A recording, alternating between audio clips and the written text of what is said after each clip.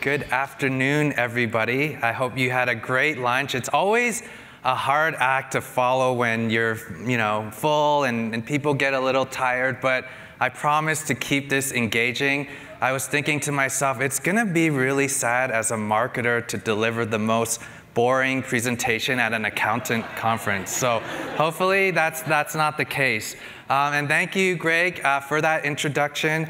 Um, you know, on the personal side, I do have three kids who are addicted to Xbox Live, and my wife gives me a hard time about that because they can't get off their, uh, their Xboxes to do their chores. So I'm really, really excited to be here to um, talk to you about how to level up your marketing.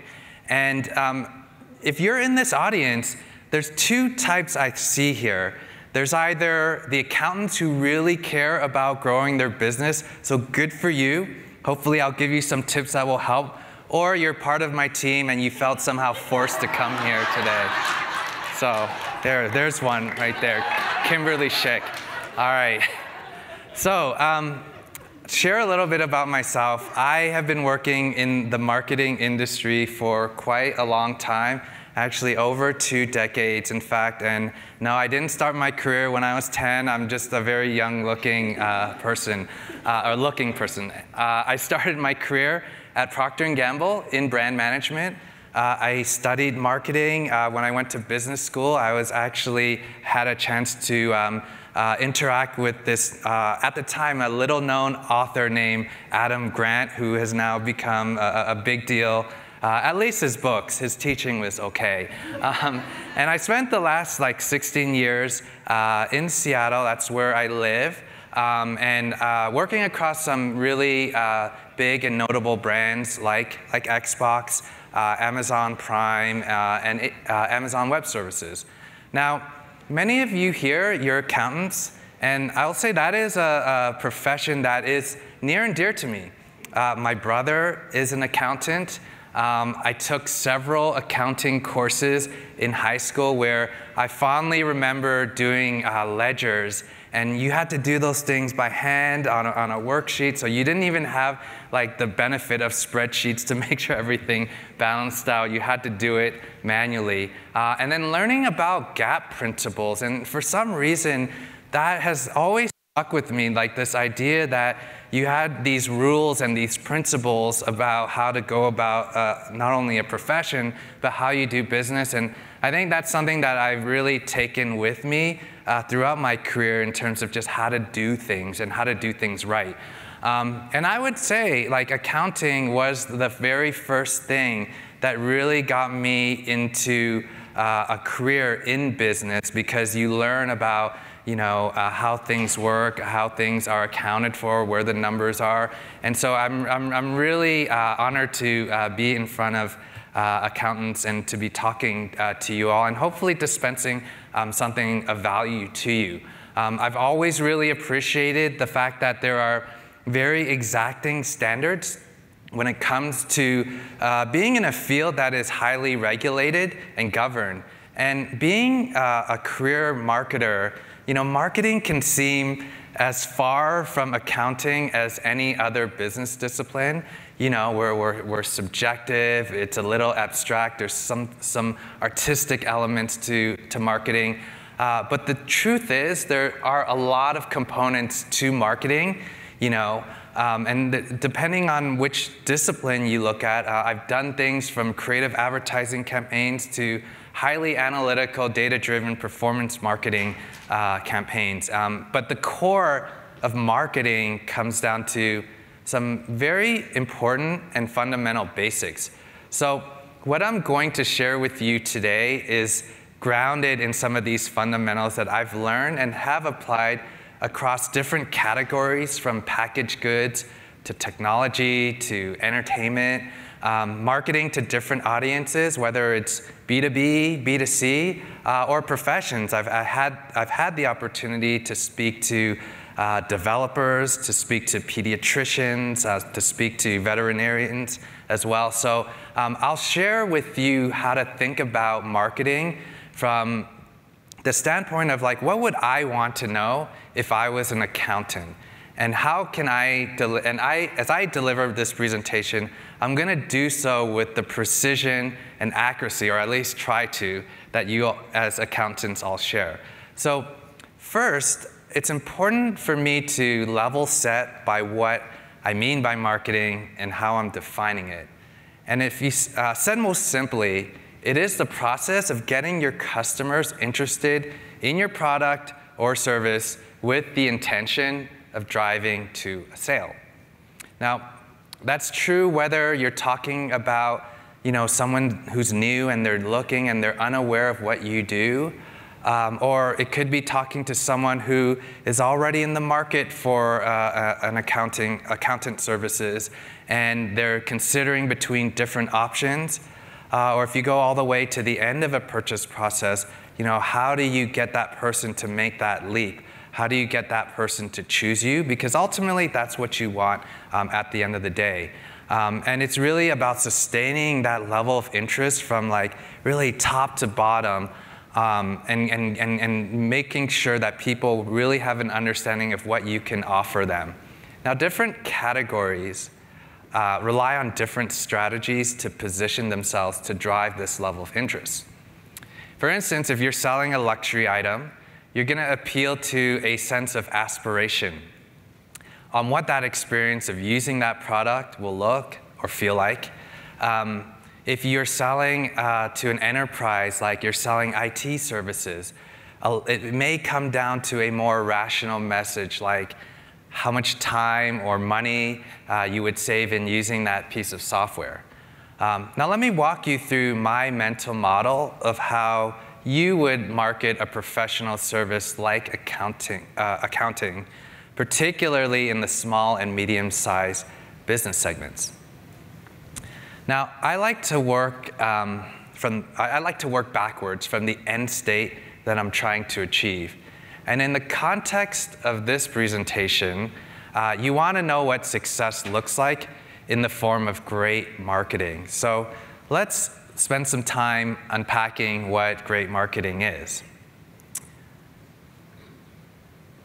So, great marketing is, if you look at this comic, um, you see a lot of different things on here. It's a picture of a Rosetta Stone with a bunch of businessy buzzwords.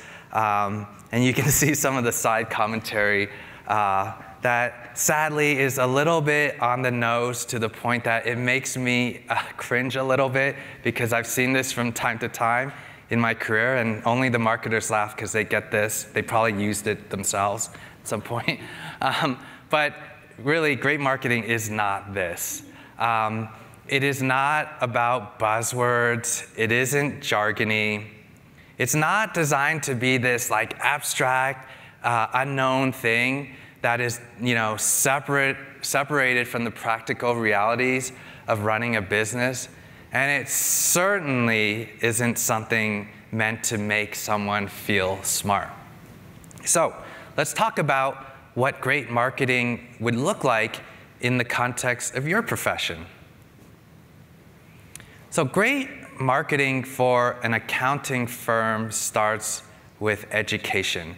And a lot of times when I talk to folks about like marketing, it's like, okay, we message or uh, say something in a way that gets people to buy something, right? And you know, while that is kind of the end state you're working towards, you got to think about what your customer wants and what their needs are, their attitudes, their behaviors, and you got to meet them where they're at.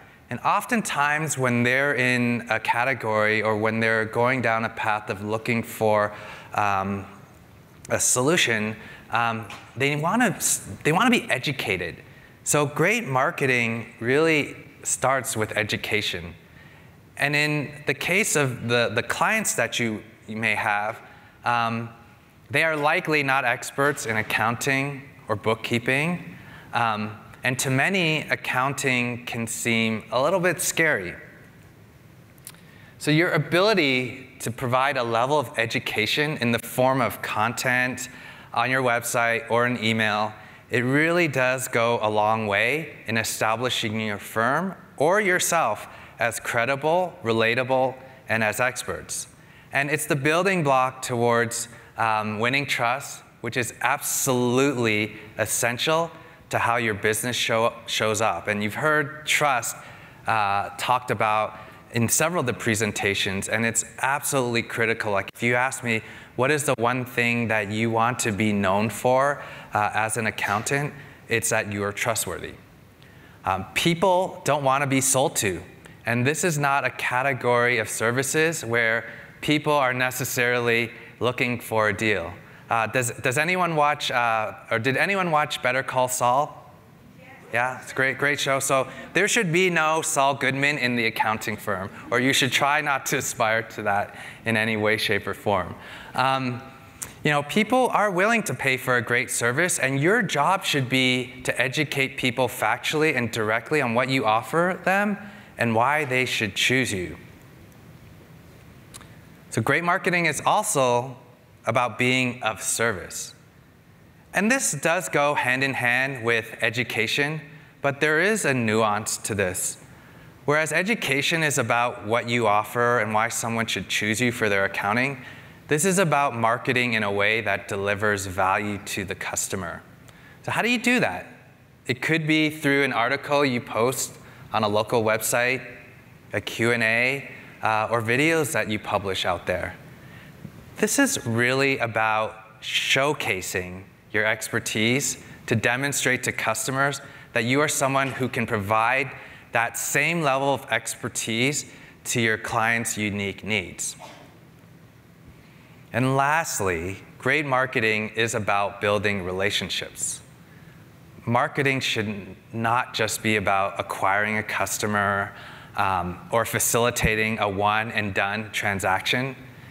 Getting the customer is just the start particularly in a professional service such as yours that is built around trust and referrals, building that long term relationship, servicing your customers extremely well, leveraging marketing channels to facilitate one to many communications lets your customers know that you're never that far away and that you're there beyond just tax season.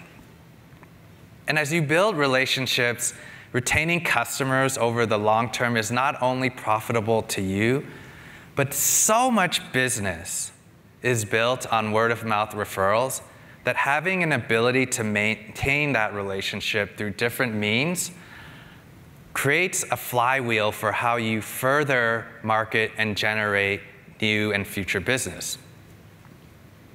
So, those are some high level things to keep in mind as you orient your marketing and set, set objectives around what you're trying to deliver. Let's bring it down another level and think about how to make this real.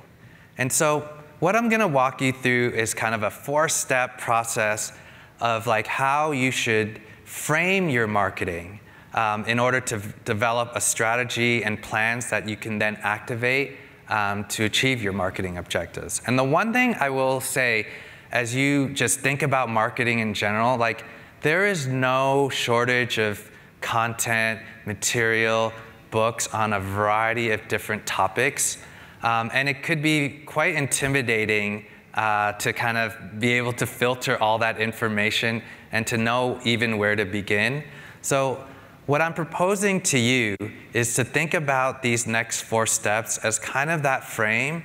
And then as you look and dive, dive deeper on your own into these different areas, it will give you a lens in which you can help discern like what's important and what's not, and where do I want to go deeper to develop a, a, level of expertise depending on what my needs are or where my gaps and opportunities are to develop really uh, a really well fleshed out marketing plan.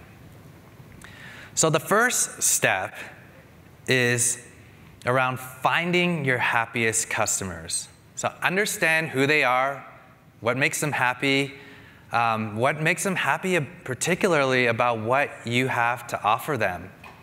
So anything you can do, whether it's about education or provide, providing value, it has to be in a, done in a way that meets them or that, that is through their lens and meets them where they are. And this is not about self expression. So you have to ground yourself in who your ideal customer is and how you're going to serve them really well. but it also means knowing who your ideal customer isn't. And I'll, I'll pause for a second on this idea of self expression because this is something that I've come up uh, a lot in, in, in, in advice I give people around marketing or what I've seen in, in these big corporations. And that is this idea that like marketing is a one-way communication channel where I'm gonna tell you everything about who I am because I work on this, I care about this, it's near and dear to me. Um, but the reality is like a lot of the marketing that isn't great is self-expressive. So it's just like when you're at a party and, or at an event and you're talking to someone and all the talk about is themselves because they want to let you know how impressive they feel. Like that's bad marketing if you apply that in, a, in like a corporate setting, right? So it's really important to figure out how to meet customers where they're at and how to turn prospects into happy customers.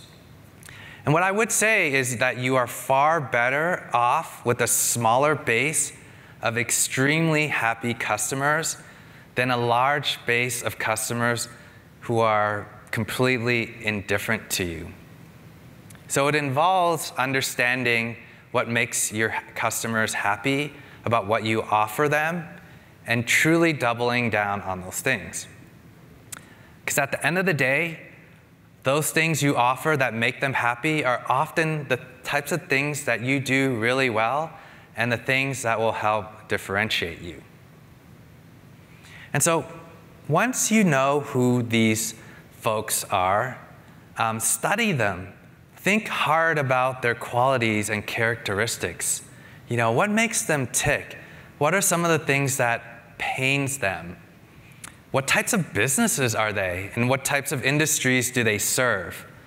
How big are they? Like, what's unique about them? And how do they operate? And where are they located? The more you know about that, the more you can figure out how to find more customers like them and then build a basis for how you expand and scale your clientele. Now, I referenced word of mouth earlier in terms of building relationships. Word of mouth and generating what we call organic referrals is the holy grail of marketing. And it's a byproduct of great product, uh, great marketing with a great product or service experience. We tend to only share people, uh, sorry, share stories with people who want to hear them. So when you delight a customer, they tend to find others who have the exact same problem, like messaging homing pigeons. We all do a little bit of this in our personal lives, am I right? And I'm sure you can think about other areas where you may do this too. Now, according to the Harvard Business Review, more than 80% or 84% of a purchase cycle starts with a referral or involves one. And 90% of B2B sales involves a referral. Referrals has a priming effect. Now, customers in this digital world will often do their own research, so you can't just leave things to whether your business has word of mouth uh, at the end of the day and call it quit and, and call it quits if it doesn't. You have to build to it. It's something that you have to invest in. And you have to complete the mi- missing links of driving someone who is thinking about using you to someone who ultimately will decide to use you. And that's where the education and being of service piece comes in. Now, to really harness the power of referrals, you can incentivize them, offer a free consultation, or if a client refers another client to you, give them some money back. But even if you don't, you can make it easy for your customers to send a quick email to anyone with a link for more information about your offering. So here's a pro tip Case studies are great. They promote you, but they also promote your clients. So think about that as you're building your, your content. All right, happy customers tend to be high in something, whether it's spending, satisfaction, or engagement. They, they buy a lot, they appreciate a lot, and they'll probably talk to you a lot. Now, I'm going to get a little tactical and prescriptive here, and it's what you see on these slides. Like, ask them for some time, run them through these questions, and together produce an understanding of like who that ideal customer is. and showcase and produce materials that show how much you are a fit for that type of customer. Now, depending on your size, you can absolutely do a survey with your existing clients to learn some of this. But as an ongoing practice, include these questions in your cl client onboarding conversations. And if you have a, a, a, capture form or an account creation on your website for your clients, track the different sources of traffic or how people find you to these forms and put questions like, how did you hear about us? Here's another tip. How did you hear about us answers?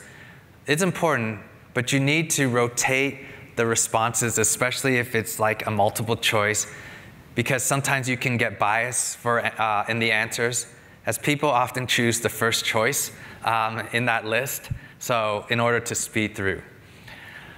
You always want to take what you learn as well with a grain of salt and compare it with something else that you know. So as a, a last tip in this slide, um, don't be too specific in a drop-down list or offer too many choices. Like, I like to keep things simple, or as simple as like a referral from a colleague or friend, web search, saw an ad, or other, and let people fill in that, that field. So this next slide here, don't pursue those customers though beyond the pale. There is a limit to how much they're willing to entertain your attention and be called and be upsold, like through email. And yes, I know, we're Gusto. We've learned this lesson the hard way, thanks to a lot of the input from our accountant partners. So um, we're speaking from a place of like genu genuineness and authenticity in, in this area. So if your marketing plan makes your best customers less loyal, um, say by constantly sending them emails, like rethink that. Because there is such a thing as too much of a good thing. Uh, and getting that balance right by putting yourself out there, uh, by, not, by not saturating or annoying your customers is critical. And obviously, do not do what's in this comic strip here. So gather everything you can um, glean from those top customers. That research powers the rest of your marketing. Research doesn't have to be some like very expensive study or survey. Um, and as you may have learned from our accelerator training yesterday, here are a few things that will tell you if a client is going to be a good fit for people advisory. You know, look for those who have uh, complex workforce needs. Uh, for example, a mix of employee types, full-time, part-time, contractors, remote employees, or employees across different states. Clients intending to grow their workforce are also good candidates, as are those who are planning a permanent shift to remote working. For look, so, so look for some of those cues. But don't forget to rely on your gut and intuition. When I was at Amazon, there was no shortage of having access to um, valuable and insightful data. And I remember in like my very first days when I was being trained, like they told you that yes, you could have access to George Clooney's buying habits, and you had to take that responsibility very famous or very seriously. Um, now, I'm sure that many of us do also wish we spent less time on Amazon buying things online. I, I know I do. Um, but there is a saying that whenever the data and anecdotes disagree, the anecdotes are usually right, that you're just measuring or interpreting the data wrong. So just keep that in mind as you're looking at data like pressure test it, kick the tires a little. Does this make sense? Am I confident in how I measured and collected this data? And know that like when you can marry um, quantitative data with um, uh, qualitative sensibilities, like generally you're moving in the right direction. So as a pro tip, you know, create diary, a diary of your insights. Like use a Google Doc or some other place to capture when you've learned something new. Date it, include that data that you looked at it, uh, and what your conclusions were. And over time, this becomes a cookbook for how you can grow your firm which you can share with new team members who are also working on new client acquisition. All right. Um, step two, like start with the things that you can measure. Marketing has come a long way since the time I started my career, where you used to attribute some end outcome to like a set of different inputs that coincided with it, and you do some like loose pattern matching in hopes of like finding some level of correlation. And like that's how I did it when I was at Procter & Gamble. Sometimes you would see a volume spike in orders when you were running a flyer at Walmart, for example. But beyond that, there was this black box where you just didn't know like what caused what. Now the good news is that black box is more translucent. It's not tr- totally transparent, but it's trans- translucent. And by by that, what I mean is you can see the light and you can detect signals. It's not perfect, but the truth is, we do all have the ability to measure the marketing activities that we put out there. And there are a range of marketing tactics that you can, uh, you can employ. You could sponsor a local soccer uh, team, for example. Um, but some of the more measurable, but some things are more measurable than others.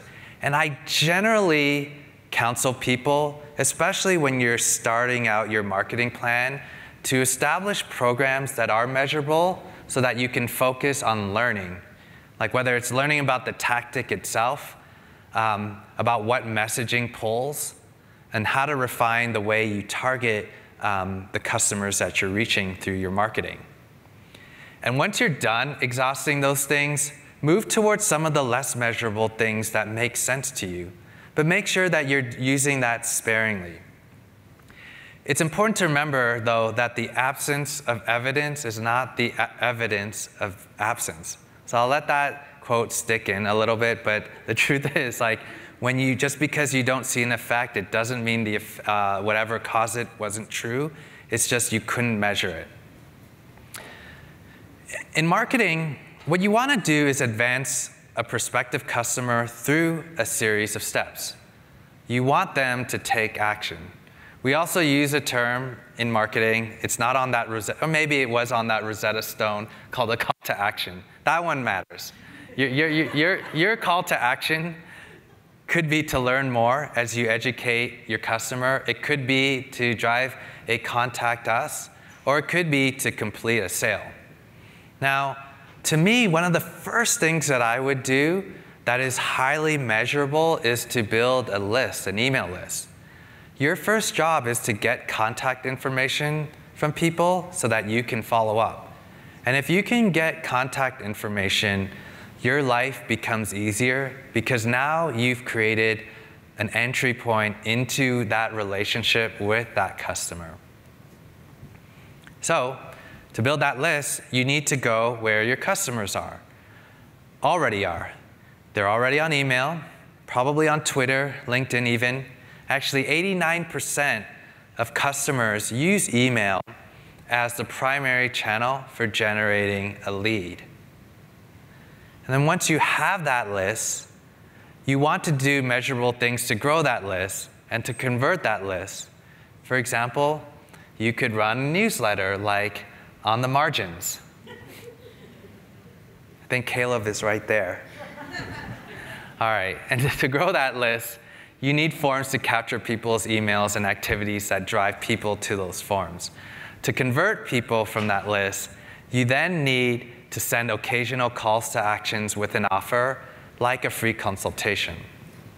And then to measure how that's working, you can look at your email tool or web analytics like Google uh, Analytics to see the total number of people you reached and how many people took you up uh, on that offer.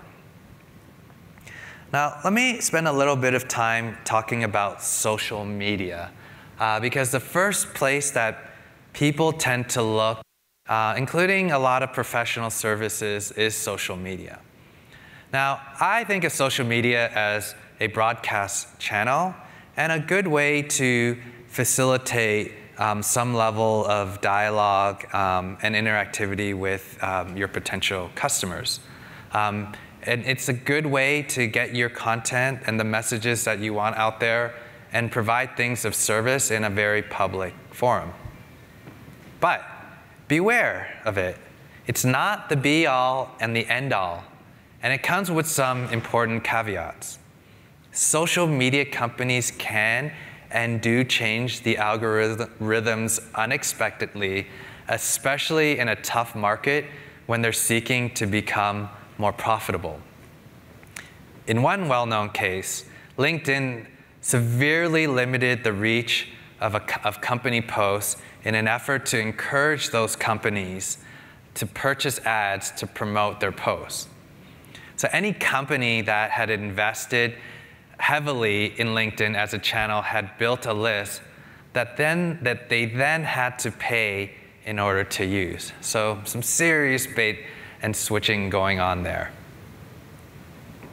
Now, of course, there are some things that are difficult to measure, intangible things that you may want to invest in, um, a website, a brand.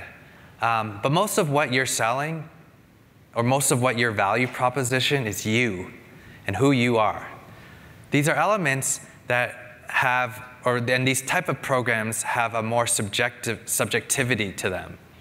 And the way I do tend to measure these things is more anecdotal.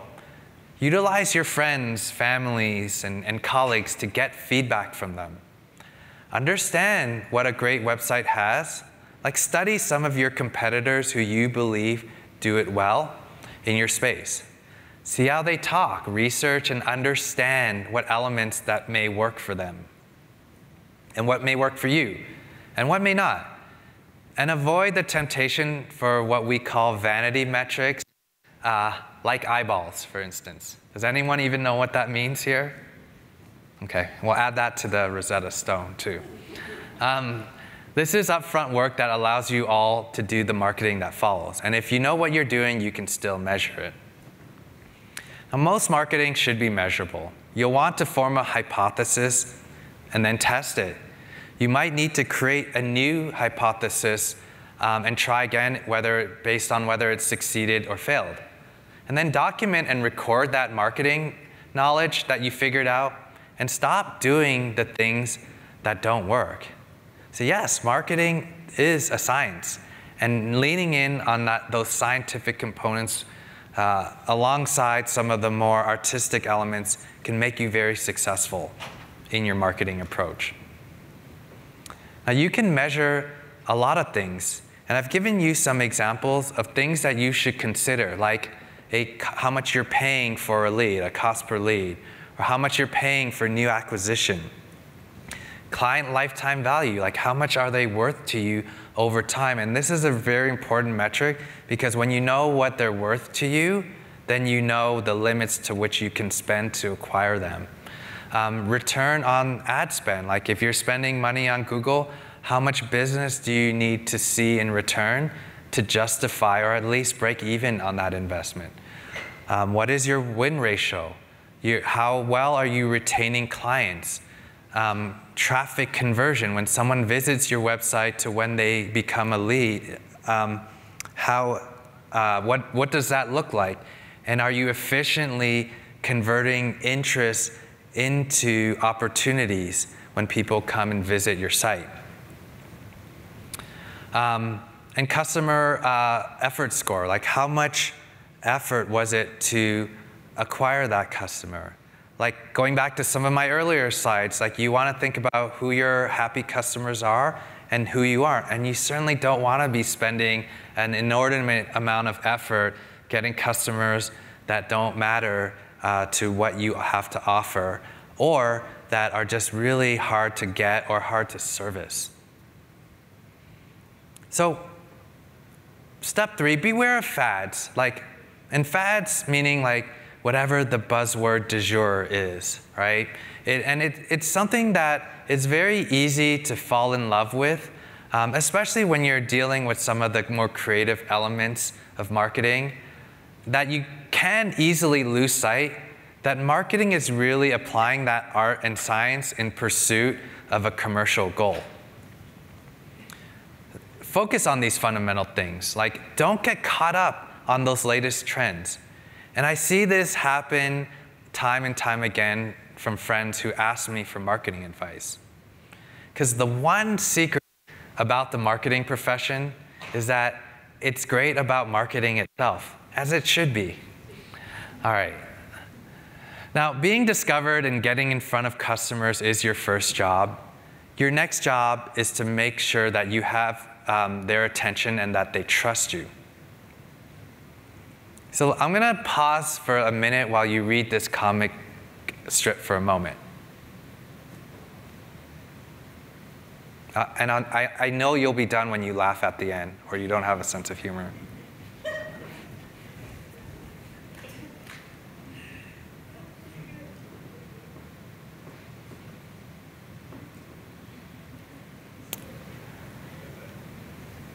All right.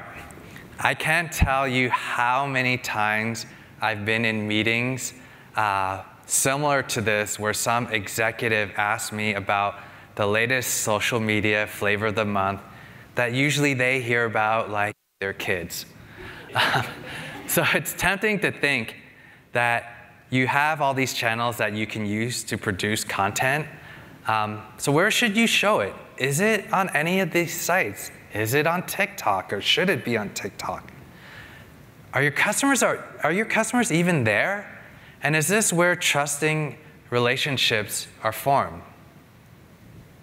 So going back to my earlier um, great marketing principle, the real question is, what are the right channels for which you can offer value? And there is this famous saying that the medium is the message posting on an accountant forum on Reddit, a talk at a local chamber of com commerce where the customers that you want attend, or being on LinkedIn and targeting that audience um, is really the way you should think about that. Because at the end of the day, it's better. Maybe it's not as fun as producing a viral video on TikTok, but you'll find a lot more success in it. And as you think about this, the real litmus test is are you giving more value than you're getting, or from a customer standpoint? And is this so valuable that someone might pay for your services? And if, if not, like what would make that content so valuable to make your potential prospects and customers think that you have something value to offer them?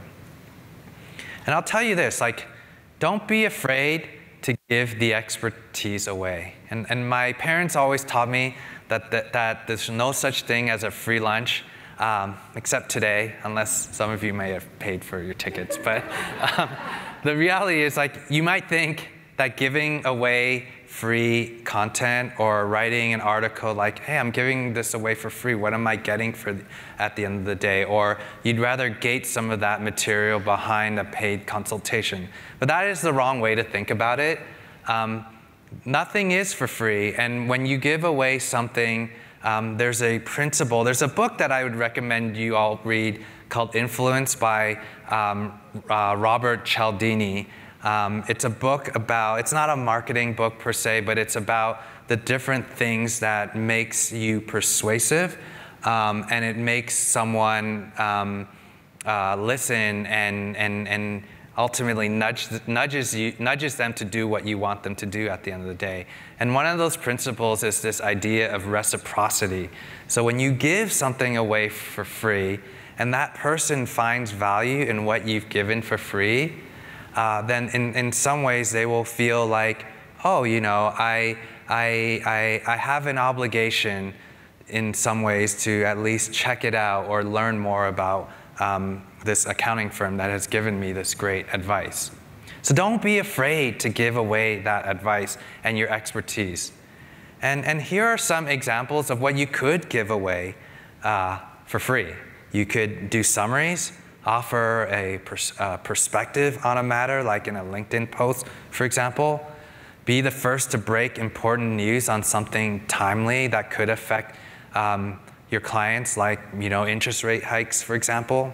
Doing step-by-step -step guides, Checklists are, are always fun and easy to consume. Or you could go deeper, do research, white papers, create useful stories to help bring to life whatever it is you're trying to communicate. Um, you can even think about entertaining ways to deliver content. Um, and going back to my first point, like ultimately thinking about the ways in which you can educate your customers. Um, because the more you share, the more they assume that you know. So, step three is finding partners with skin in the game. This all could seem somewhat intimidating with all the different things that you need to do. Um, but the truth is, you don't have to do it all on your own. There, there, there's many resources on the internet to help you get started and arm you with the knowledge that you need to create a plan or to get started. But if it's not something you have the time or space to learn, there are ways that you can outsource expertise. The way I think about it is these are the areas that you want to build programs around and how you get started. Um, and I would, but I would caution you in finding a place that does all of these things in one because chances are they won't do one thing particularly well or you'll pay a lot for the premium and convenience of having it all in one place. But figure out like within content, strategy, SEO is very important, design, advertising, creating leads, like where are the areas that you feel comfortable kind of taking on yourself or hiring that expertise internally within your, your firm? Um, and what are the areas where you true, that are truly important that you want to have an expert on your side to help you implement programs around? And it goes without saying that, like, to do all of these things, you need basic marketing infrastructure. But depending on how big you are, maximize the packages that come from your web hosting companies. If you're starting small, chances are they can provide you with kind of the um, uh, early steps to get you on your way in those areas that I described. Um, if you use a professional web grade, uh, grade web hosting company, that's a no-brainer. It won't get you on the first page of Google to just set expectations, but the input to out ratio, output ratio is off the charts. And it's a com common denominator. They've mastered it uh, and they've packaged it, and you can leverage the scale that those web hosting companies have to get a quick jump on these areas. Now, if you pick an agency, it can be very expensive, like I mentioned, um, and sometimes these agencies may not be well known or it's hard to discern whether it's a good agency or not. Uh, but if you must hire an agency, uh, find a competitor who's doing really well, figure out who their agencies are or who they work with, um, and go hire their agencies or ones like that in the same class. Have these service providers explain how well, how will they measure success, um, set that up, and, dis, uh, and demonstrate that they can hit the goals, and hold them accountable to the end of the day. Um, set up your homepage to convert more leads. Um, how will they do that? How will they capture leads? How will they send, um, uh, how, how are they sent to your staff CPAs? And if someone calls or clicks on your website, how will you know about that? If your agencies or contractors can't get very specific and granular around questions like how you're going to know some of these things, like don't hire them. Run and run far. Like, don't wait until after you've signed a contract to figure out that it won't work out because letting an agency go is a very difficult and costly and time consuming thing. For example, in these, let's look at some, some use cases here. If they're going to redo your website, can they prove that it's going to increase conversions? If they'll run ads in a campaign, can they show you how much revenue they've earned for you. If they're going to run a content campaign for you, can they show you the percentage of repeat visitors? And like for SEO work, that is getting your content, content to rank high on Google or Bing for the 1% who use that. Can they show you your rank increase? I used to work for Microsoft, it's okay. Um, and when you have a partner who has skin in the game, meaning they're measured on what matters to you, you've got a reliable and measurable um, marketing partner. So, to recap, here are the four steps that we walk through. Understand your happiest customers. Because remember, great marketing is a product of making sure that you have a really in depth understanding of who they are, what they care about, what their problems are, and where your solutions fit in. Doing things that you can measure. Ignoring some of the fads and the trends that you will hear. It's all noise. And then finding partners with skin in the game.